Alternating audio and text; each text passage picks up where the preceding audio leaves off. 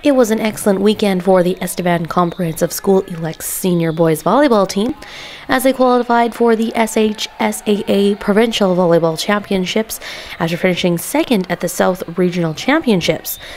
The regionals were held at the ECS gym, and the boys used the home court to their full advantage, going undefeated in the tournament before losing to Swift Current in the final.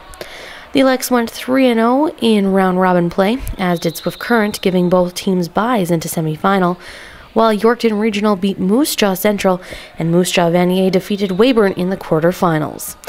In the semifinals, Swift Current downed Yorkton Regionals, and Estevan defeated Moose Jaw Vanier to set up a regional final of the two undefeated teams.